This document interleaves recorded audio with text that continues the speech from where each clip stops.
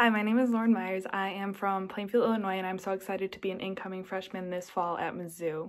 The one thing I am looking forward to the most this fall, starting college, is the change. I'm so ready for a new, fresh start away from my hometown, in a new city, in a new state, and I'm ready to build relationships and make new friends that will hopefully last a lifetime.